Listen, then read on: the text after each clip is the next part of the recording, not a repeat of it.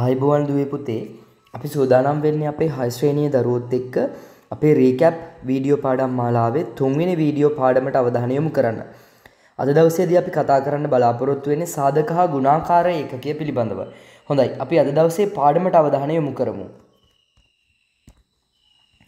මුලින්ම අපිට තියෙනවා දරුවනේ හිස්තැනුලට අදාළ පූර්ණ සංඛ්‍යා යොදමින් පහත ප්‍රකාශන සම්පූර්ණ කරන්න. අපි සාධක පාඩමේදී සංඛ්‍යාවක සාධක හොයන ක්‍රම දෙකක් ගැන කතා කළා දරුවෝ.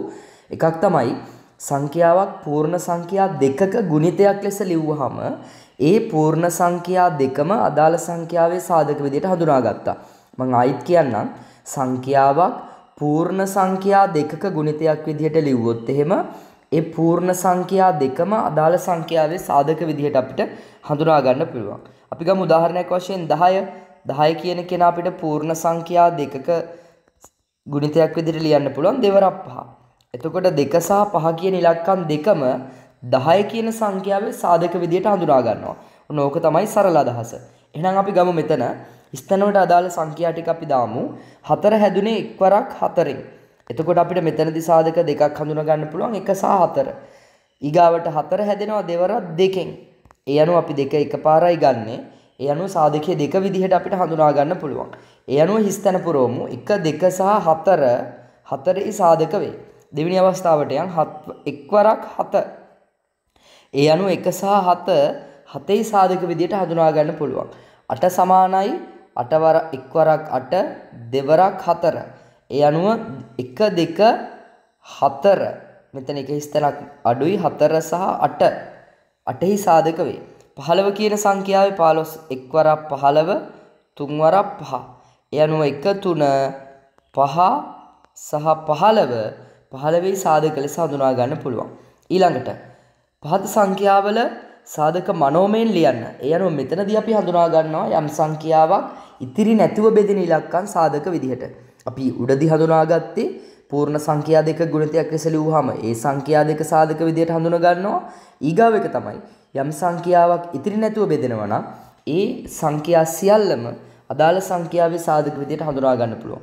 එහෙනම් 8 සාධක සියල්ලම අපිට ලියන්න පුළුවන්. 8 ඉතිරි නැතුව බෙදෙන ඉලක්කම් ටික ලියන්න තියෙන. 1 2 4 8 ඔන්න ඔය කියන සංඛ්‍යා ටික සාධක විදිහට හඳුනා ගන්න පුළුවන්. 15 ඉතිරි නැතුව බෙදෙන ඉලක්කම් මොනවාද? 1ෙන් බෙදෙනවා. ඕනම සංඛ්‍යාවක් 1ෙන් බෙදෙනවනේ. 2ෙන් බෙදෙන්නේ නැහැ 3ෙන් බෙදෙනවා. 4ෙන් බෙදෙන්නේ නැහැ 5ෙන් බෙදෙනවා. 6ෙන් බෙදෙන්නෙත් නැහැ 7ෙන් බෙදෙන්නෙත් නැහැ. ආයි බෙදෙන්නේ 15ෙන්. ඒ අනුව ඔන්න 15 සාධක 1 3 5 සහ 15 විදිහට හඳුනා ගන්න පුළුවන්. 24 සාධක 1 2 3 4 6 8 12 සහ 24. ටිකක් වැඩිපුර තියෙනවා සාධක. 25 සාධක 1 5 25. සාධක තුනක් තියෙනවා. 1 5 සහ 25 කියන සංඛ්‍යා අපිට 25 සාධක විදිහට හඳුනා ගන්න පුළුවන්. ඊගාවට බෙදීමේ ක්‍රමයෙන් පාත සංඛ්‍යාවල සාධක තුනක් ලියන්න. මෙතනදී අපේ දරුවන්ට දීර්ඝ බෙදීම පාවිච්චි කරන්නත් පුළුවන්. එහෙම නැත්නම් කෙටි බෙදීම පාවිච්චි කරන්නත් පුළුවන්. 28 28 ඉතිරි නැතුව බෙදෙන ඉලක්කම් විදිහට අපිට හඳුනා ගන්න පුළුවන් ඕනම සංඛ්‍යාවක් එකෙන් බෙදෙනවනේ. 28ට එකේව කීයක් තියෙනවද? 28යි. ඊගාවට මම ගන්නවා 28 දෙකෙන් බෙදලා දෙකෙන් බෙදෙනවා ඉතිරි නැතුව. එහෙනම් ඔන්න සාධකයක් අපිට හඳුනා ගන්න පුළුවන් දෙක කීයද? 14යි. ඒ අනුව 28 ආපහු අපිට බෙදා ගන්න පුළුවන් ඉතිරි නැතිව 4න් කීයද? 7යි. ඒ අනුව අපි සාධක තුනක් හඳුනාගත්තා 1 2 සහ 4. යම් සංඛ්‍යාවක් ඉතිරි නැතුව බෙදෙන ඉලක්කම් සාධක විදිහට හඳුනා ගන්න පුළුවන්. 32. අපි ආයිත් ගමු ලේසි එක්කෙනා අපිට එකෙන් බෙදෙනවා. 32 එකෙන් බෙදුනහම 32යි. ආපහු 32 ඉතිරි නැතිව දෙකෙන් බෙදෙනවා. 32 දෙකෙන් බෙදුනහම 16යි. ආයිම 32 ඉතිරි නැතිව 8ෙන් බෙදෙනවා. තව සාධක තියෙනවා අපෙන් 3යි ඉල්ලන්නේ. 32 8ෙන් බෙදුනහම 4යි. යනු 1 2 සහ 8 කියන සංඛ්‍යා අපිට සාධක විදිහට මෙතනදී හඳුනා ගන්න පුළුවන්. 54 54 ඉතිරි නැතිව එකෙන් බෙදෙනවා. 54ට එකේව 54යි. ඊගාවට 54 ඉතිරි නැතිව දෙකෙන් බෙදෙනවා. 54ට දෙකේව තියෙනවා 5ට දෙකේව 2යි 14ට 7යි. ඊගාවට 54 ඉතිරි නැතිව 6ෙන් බෙදෙනවා. 54ට 6 ඒව 9යි. යනු මෙන්න සාධක තුනක් අපි හඳුනගත්තා. 1 2 සහ 6 කියන සංඛ්‍යා. ඊගාවට ගුණාකාර ඇසුරෙන් පහත ප්‍රශ්න වලට පිළිතුරු ලියන්න තියෙන්නේ 10ට අඩු 3හි ධන ගුණාකාර ලියන්නලු. 10ට වඩා අඩු තුනෙහි ධන ගුණාකාර. ධන තුනෙහි ගුණාකාර නේද මොනවාද? 3 6 9 කියන ඉලක්කම් තුන ගන්න පුළුවන්. ඔච්චරයි අපිට තියෙන්නේ. 10ත් 30ත් අතර පහේ ගුණාකාර සියල්ලම ලියන්න. 10ත් 30ත් අතර කිව්වහම 10යි අයිතිත් නැහැ 30යි අයිතිත් නැහැ. අතර කිව්වහම දෙපැත්තේ දෙන්න අයිති නැහැ. යනු මොනවාද අයිති? 15 20 25 කියන පහේ ගුණාකාර ටික ගන්න පුළුවන්. ඊළඟට 15 සිට 36 දක්වා ඇති හතරේ ගුණාකාර සියල්ලම ලියන්නලු. 15 සිට කිව්වහම 15ත් අයිති. 36 දක්වා කිව්වම 36 අයිති නෑ. ඒ අනුව අපිට ගන්න පුළුවන් 16 පළවෙනි සංඛ්‍යාව විදිහට 20 24 28 32 කියන ඉලක්කම් ටික ගන්න පුළුවන් හතරේ ගුණාකාර විදිහට. ඊගාවට මේ ප්‍රශ්නේ අපිට යොමු වෙලා තියෙන බාජ්‍යතා නීතිය ඇසුරෙන් අපි මේ පාඩමේදී බාජ්‍යතා නීති තුනක් ගැන කතා කළා. එකක් තමයි දෙකෙන් බෙදෙන සංඛ්‍යා කොහොමද අපි හඳුනාගන්නේ? අනිත් එක පහෙන් බෙදෙන සංඛ්‍යා කොහොමද අපි හඳුනාගන්නේ? අවසාන වශයෙන් 10න් බෙදෙන සංඛ්‍යා කොහොමද අපි හඳුනාගන්නේ කියන එක. දෙකෙන් බෙදෙන සංඛ්‍යාවක් කොහොමද දරුවෝ අපි හඳුනාගත්තේ? දෙකෙන් බෙදෙන සංඛ්‍යාවක අග ඉලක්කම් ටික එන්න ඕනේ මොනවාද? ඕන මොනතරම් ලොකු සංඛ්‍යාවක් වුණත් එයාගේ අග ඉලක්කම ඉරට්ටේ නම් ඒ කියන්නේ බිඳුව 2 4 6 8 කියන සංඛ්‍යාවලින් එකක් නම් ඒ සංඛ්‍යාව අනිවාර්යෙන් දෙකෙන් බෙදෙනවා කියලා අපිට හඳුනා ගන්න පුළුවන්. සංඛ්‍යාවක් ඉදිරිය නැතුව පහෙන් බෙදෙනවාද කියලා හඳුනා ගන්න පුළුවන්. අග ඉලක්කම බිඳුව එහෙම නැත්නම් පහ කියන ඉලක්කම් දෙකෙන් එකක් නම් තියෙන්නේ. අනිවාර්යෙන් එයා පහෙන් බෙදෙනවා. 10න් බෙදෙන සංඛ්‍යාවක අග ඉලක්කමේ බිඳුව තියෙන්න ඕනේ. ඒ අනුව මේ ලෝකේ ඕනම සංඛ්‍යාවක අගට බිඳුව තියෙනවා නම් එයා 10න් බෙදෙන සංඛ්‍යාවක් විදිහට අපිට හඳුනා ගන්න පුළුවන්. දැන් අපි උත්තර ටික ලියමු. දෙකෙන් බෙදෙන සංඛ්‍යා නම් මෙතන මොනවද තියෙන්නේ? පළවෙනියෙන්ම අපිට ගන්න පුළුවන් 212. අගට 2 තියෙන්නේ. අගට 2. ඊගාවට 310. අගට බිඳුව තියෙන්නේ. ඊගාවට 256. 256 අගට 6 තියෙන්නේ. ඊගාවට 125 බෑ 375 බෑ. ඊගාවට අපිට ගන්න පුළුවන් 420. 420 කියන සංඛ්‍යාව. ඊගාවට ගන්න පුළුවන් 860. ඊගාවට 1236. 1236 කියන සංඛ්‍යාව ගන්න පුළුවන්. ඊගාවට 5180 ගන්න පුළුවන්. ඊගාවට අවසාන වශයෙන් 1800 කියන සංඛ්‍යාව තෝරගන්න පුළුවන්. අගට ඔක්කොම තියෙන්නේ මම අර කියපු සංඛ්‍යා. සංඛ්‍යාවක් ඉතින් නැතුව පහෙන් බෙදෙනවා නම් බිඳුව සහ පහ තියෙන්න ඕනේ. ඒ අනුව හඳුනා ගන්න පුළුවන් පළවෙනියෙන්ම අපිට පහෙන් බෙදෙන සංඛ්‍යාව විදිහට 105 ඊගාවට 212 නැත් 310 නේද? ඊගාවට ගන්න පුළුවන් 125 ඊගාවට ගන්න පුළුවන් 375 ඊගාවට ගන්න පුළුවන් 420 ඊගාවට 860 නේද? ඊගාවට යන්න පුළුවන් සංඛ්‍යාව තමයි 860. ඊගාවට යන්න පුළුවන් 1236 ගන්න බෑ.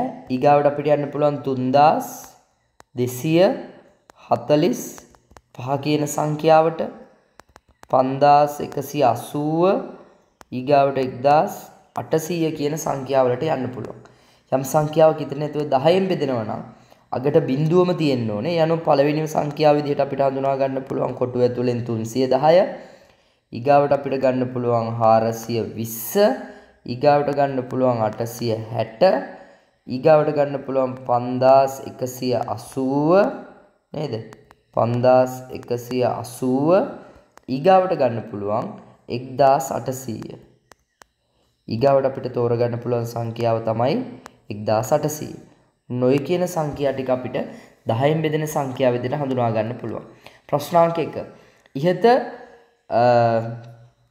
ප්‍රශ්නයේ පිළිතුරෙහි පිළිතුරෙහි කොටු තුනේම යොදන සංඛ්‍යා තිබේදී මොනවාද? ආ මේ ප්‍රශ්නේ අපිට තියෙන කොටු තුනේම යෙදිච්ච සංඛ්‍යා තියෙනවද කියලා අහනවා. ඒ මොනවද කියලා අහනවා. අනිවාර්යෙන් කොටු තුනේම යෙදිච්ච සංඛ්‍යා තියෙනවා දරුවනේ. එක්කෙනෙක් තමයි 310.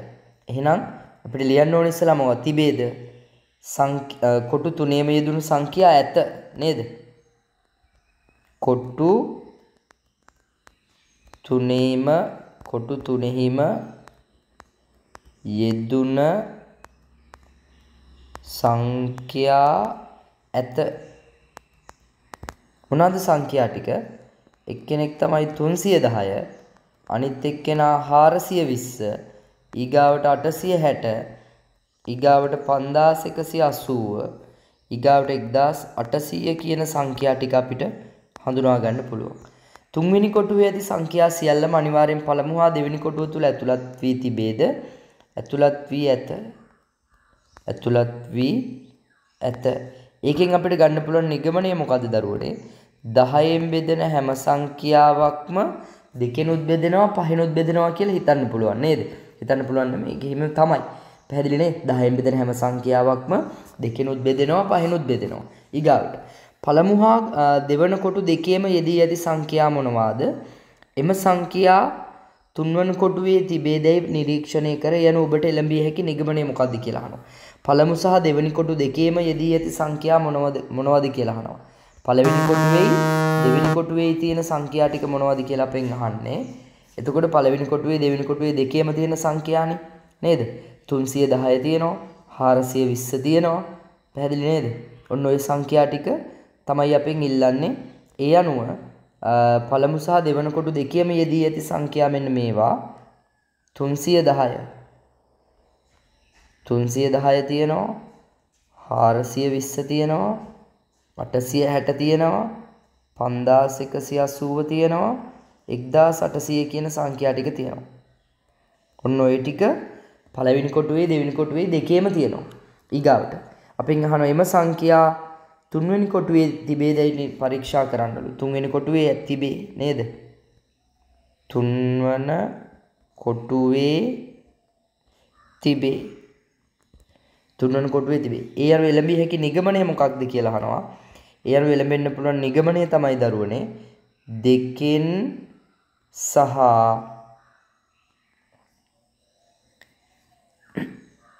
ඒ අනුව අපිට එළඹෙන්න පුළුවන් නිගමනය තමයි දහයෙන් බෙදෙන.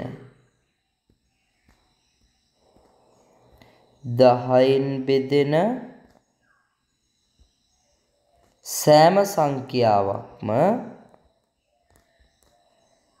දෙකෙන් සහ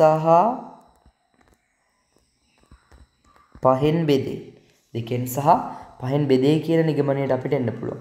10න් බෙදෙන හැම සංඛ්‍යාවක්ම දෙකෙන් සහ පහෙන් බෙදේ කියන නිගමනයට අපිට එන්න පුළුවන්. හොඳයි. එහෙමනම් අපි අද දවසට අදාළ පාඩම සාකච්ඡා කරලා අවසන්. අපේ දරුවෝ හැමෝම රතු පෑනෙන් හරි දාගන්න ඕනේ, අඩුපාඩු හදාගන්න ඕනේ. මේ වගේම තවත් වැදගත් වීඩියෝ පාඩමකින් අපි ලබන සතිය අපේ දරුවන්ව හමු වෙන්න බලාපොරොත්තු වෙනවා. එහෙමනම් අපේ දරුවෝ හැමෝටම සුබ දවසක්. ආයිබෝවන් දුවේ පුතේ.